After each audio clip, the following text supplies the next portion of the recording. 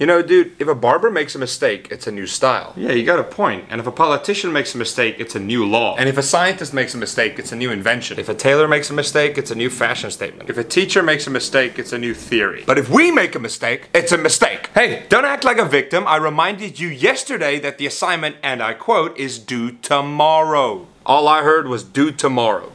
Maybe you are the mistake.